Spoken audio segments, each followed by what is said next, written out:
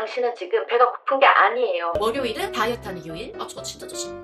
나 진짜 어, 나 지금 나 지금 또, 또 먹고 있네? 뇌에서 먹는 시간에 안 먹으면 스트레스나 우울감이 엄청 심할 때 그게 폭식 과식으로 많이 오거든요? 제가 이 방법으로 효과를 진짜 많이 봤는데 나만 다이어트 하는 거 아니죠? 우리 다 같이 꼭 다이어트 성공해요 레모나들 안녕하세요 꿀팁 언니 제모나입니다 제가 지금 다이어트 2주차의 다이어터인데요. 원래 몸무게가 많이 나가는 사람이 아니어가지고 살이 빠진 속도가 굉장히 더딘데 그래도 지금 한 1kg에서 1.5kg 정도는 뺐거든요. 근데 이 과정에서 운동은 안 하고 식단만으로 빼는 다이어트를 저는 선택을 했어요. 근데 이렇게 하다 보니까 가짜 식욕을 잡는 게 너무너무 중요하더라고요. 그래서 오늘은 가짜 식욕을 잡아주는 8가지 방법을 알려드릴게요. 당신은 지금 당신은 지금 배가 고픈 게 아니에요. 계속 먹다 보면은 그 뇌에서 먹는 시간에 안 먹으면 야 너 왜 안 먹어? 너 왜 달라진 척해? 빨리 음식 넣어. 이런 식으로 뇌가 이제 명령을 하는 거거든요. 그래서 가짜 식욕만 잡아도 다이어트는 진짜 반은 성공이라는 거.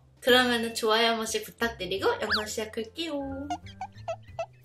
가짜 식욕이란 거는 쉽게 말하면은 뭘 안 먹어도 되는데 계속 뭔가 먹게 되는 그런 현상들이거든요. 그리고 내가 배가 안 고픈데도 입이 뭔가 심심하고 뭔가 씻고 싶고 입 운동을 하고 싶은 그런 것도 가짜 식욕이 이제 해당이 되는데요. 일단 가장 먼저 해야 되는 거는 하루 비우기입니다. 제가 다이어트를 시작하면서 느낀 게 그 하루 시작이 너무너무 힘든 거예요. 근데 그 하루만 딱 참고 나면은 그 다음부터는 좀 수월하더라고요. 그러니까 여러분, 우리 다이어트 요일 있잖아요. 월요일. 월요일은 다이어트 하는 요일. 예를 들면 딱 하루 아침에는 뭐 두부나 닭가슴살, 과일, 점심은 일반식인데 밥을 반을 먹어주고 저녁은 샐러드. 딱 요렇게만 지켜주는 거예요. 이렇게 하루만 참으면은 그 다음날부터는 훨씬 식단하는 게 진짜 수월해지더라고요. 이게 정말 거짓말 같아도 그 하루의 힘이 엄청 크거든요. 한번 해보세요.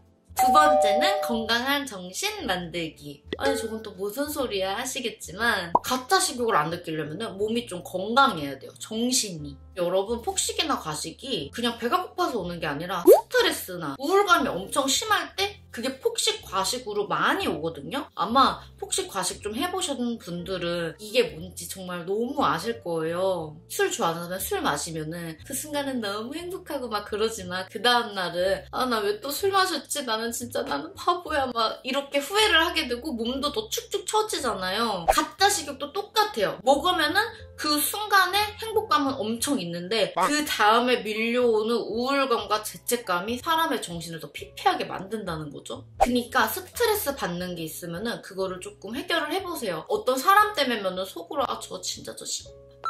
나 진짜 막 이런 식으로 욕을 하던가 아니면은 더 또라이가 돼보세요. 살아보니까 약하면은 괴롭히고 무시하는데 또라이로 보이면은 아무도 안 건드리더라고요. 그러니까 여러분 착한 또라이가 돼보셔요. 그리고 폭식이나 과식이 반복되면은 이거는 창피할 게 아니라 그냥 병이니까 꼭 병원을 가셔가지고 상담을 받아보시기를 전 권합니다.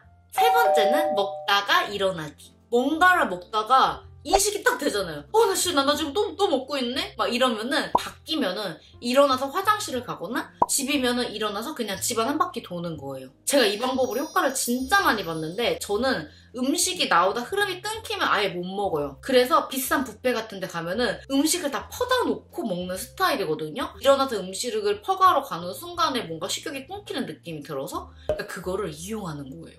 그 다음 방법은 양치질하기. 이거는 뭐 많은 분들이 아시는 방법인데 입안이 텁텁하면 계속 뭔가 땡기잖아요. 그러니까 그거를 좀 없애주려고 양치를 하던가 바로 양치를 못하면은 홀스나 자이리토 같은 거를 그냥 하나씩 먹어주세요. 다섯 번째, 5분만 나가서 걷기. 이게 뭐 방법은 5분 나가서 걷기인데 쉽게 말하면은 배가 고플 때 뇌를 딴 데로 보내버리는 거예요. 우리가 막 어디 아플 때 더 세게 때리면은 막 거기 아픈 거 모르는 그런 것처럼 그리고 우리가 엄청 배고플 때 뭔가를 먹으면은 급하게 많이 먹게 되잖아요. 내가 진짜 이게 사람인가 돼지인가 뭔가 분간이 안 갈 정도로 그러니까 그런 현상을 막기 위해 가지고 잠깐 뇌를 딴 데로 보내버리는 거예요. 그 다음 방법은 수분 섭취 후 10분 기다리기. 이거는 굉장히 간단한 방법인데 물 한 컵을 천천히 마셔준 다음에 10분 동안 버티는 거예요. 게임을 하던가 그냥 내가 꾹 참고 버티던가 그러면은 배에 허기가 좀 달래지면서 순간적으로 가짜 식욕을 잡을 수가 있거든요.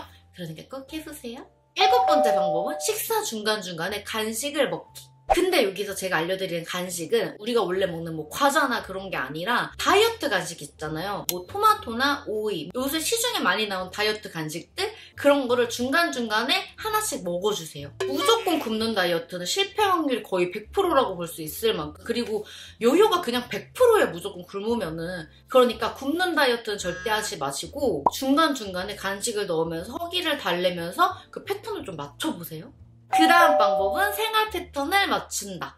먹는 나쁜 시간 있잖아요. 야식을 먹는다던가. 그럴 때 우리가 아, 나 슬슬 출출한데 야식을 먹을 게 없나 하면서 배민을 피면서 이런 뭔가 패턴들이 반복되잖아요. 그 패턴을 이용해서 밥 먹는 시간, 간식 먹는 시간, 잘 시간 이런 거를 며칠만 맞춰주면은 그게 사람이 참 적응의 동물이라고 엄청 적응이 되거든요. 그 방법을 이용해서 나만의 하루 패턴을 만들어 보세요.